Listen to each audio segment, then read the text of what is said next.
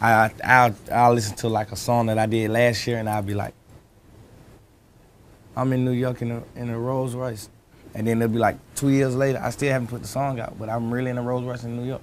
So I'm like, what the fuck? Like, so I'm big on I'm big on like speaking shit, shit to existence. So I had to learn like not to say stuff like, if I go to prison, I'ma still be. You know what I'm saying? Like I had to learn how to back away from that type of stuff and gang banging because it's because I feel like I'm the I, I really speak a lot of stuff to exist. I speak so much stuff to exist, and I don't, and I be and sometimes I forget.